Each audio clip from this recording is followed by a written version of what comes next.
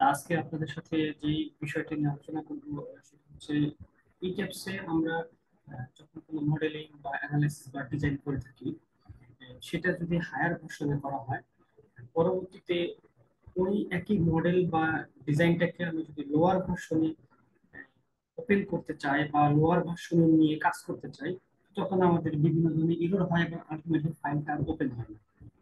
Normally ই ট্যাপসের যে ফাইলগুলো হয়, তার এক্সটেনশন হয়. ডট ইডিবি ফাইল আপার ভার্সনে যখন কাজ করা হয় লোয়ার ভার্সনে সেই ইডিবি ফাইলটাকে রিকগনাইজ করতে পারে না।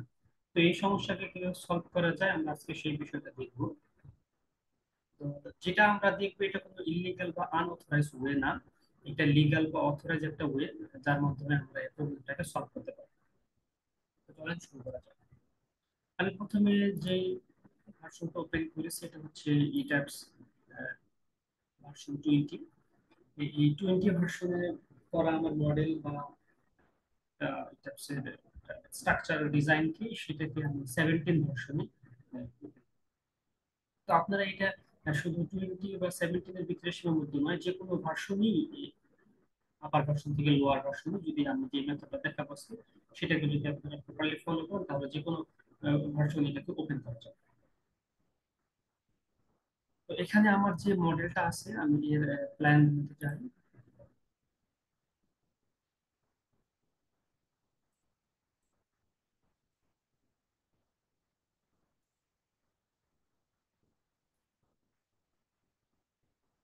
এই ফাইলটাকে আমি একটা সেভ এস দিয়ে সেভ করব।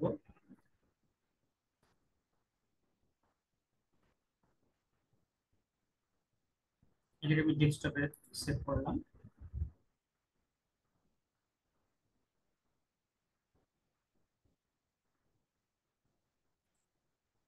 এখন আমি চাচ্ছি যে আমার যে ফাইলটা এখানে সেভ হলো, এই ফাইলটাকে আমি ওপেন করব আমার এই ট্যাব সেভেন্টি নিয়ে।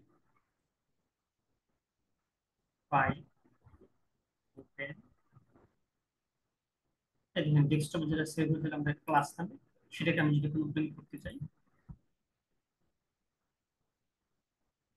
তাহলে এখানে নর্মালি ওপেন হবে না।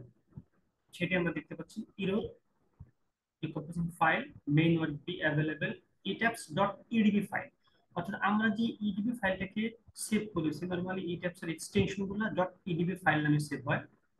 এই ইডিবি ফাইলটা সে রিকগনাইজ করতে পারতেছে না। কারণ হচ্ছে আমরা যেটা কাজ করেছি হায়ার ভার্সন এটা হচ্ছে লোয়ার ভার্সন এই প্রবলেমটাকে সলভ করার জন্য এখন আমি আপনাদেরকে পদ্ধতিটা দেখাবো।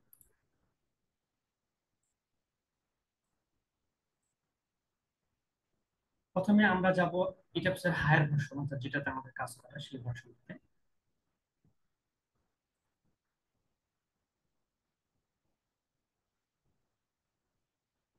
আপনাদের কাছে রিকোয়েস্ট থাকবে, ভিডিওটি না টেনে সম্পূর্ণ দেখুন, যাতে কোনো স্টেপ বা মিসিং না হয়, যাতে আপনারা প্রপারলি স্মুথলি ভিডিওটা দেখে পরবর্তীতে আপনারা যে প্রবলেমগুলো আমরা ডিসকাস করব সেটা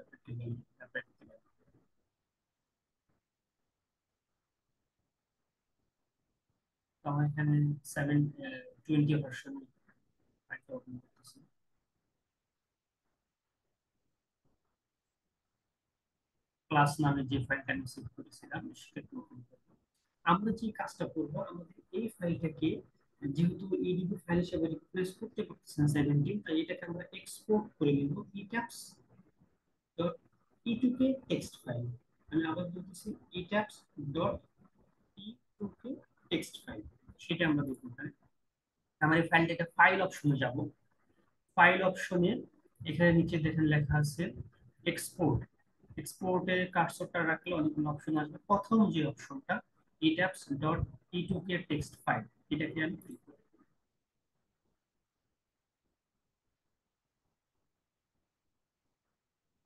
সেম নামে আমি ডেস্কটপে ফাইলটাকে সেভ করব। এখানে আমার একটা উইন্ডো আসবে দেখাবে ইউনিট ইঞ্চিতে ফোর্স পাউন্ড এবং টেম্পারেচার ইউনিট ফারেনহাইট এটা ওকে দিয়ে ওকে দিলে আমার ফাইলটা সম্পূর্ণ এক্সপোর্ট প্রসেসিং কমপ্লিট হবে। দেন আমি হায়ার ভার্সনের সফটওয়্যারটাকে ক্লোজ করে দিব।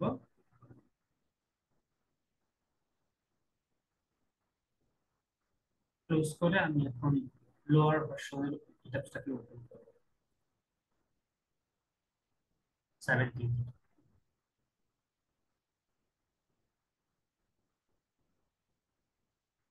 সেভেন্টিন যখন আমার ওপেন হয়ে যাবে, তখন আমি যে ইটাপস ডট ই2কে টেক্সট ফাইলটা সেভ করেছিলাম, সেটাকে ইটাপ সেভেন্টিনে ইম্পোর্ট করব। ইম্পোর্ট করার সময় সে কিছু ওয়ার্নিং দিবে আমাদের বা কিছু কন্ডিশন দিবে। সেগুলো হলো যেহেতু আপার ভার্সনে অনেক কিছু অ্যাভেলেবেল থাকে লোয়ার ভার্সনে থাকে না। আর মডেলে যদি কোনো জয়েন্ট থাকে বা কোনো পয়েন্ট থাকে বা নাল লাইন থাকে ওই লাইনগুলোকে সে ডিলিট করতে চাইবে। তখন আমরা এটাকে ওকে দিয়ে আমি এখন সেভেন্টিন ওপেন করার পরে ফাইল অপশনে যাব।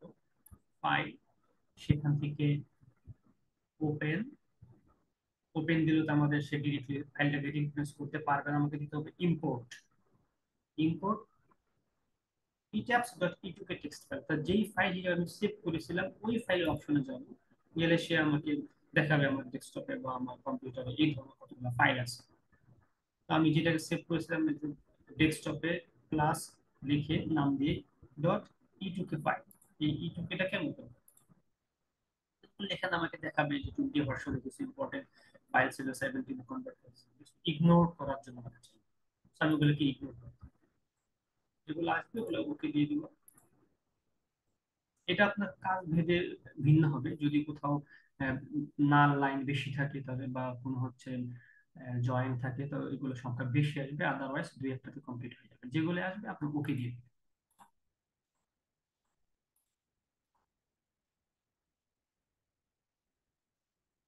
যেগুলা আসছিল, সবগুলাকে আমরা ওকে দিয়ে দিয়েছি। তো কিছুক্ষণের ভিতরে আমাদের ফাইলটা ওপেন হবে।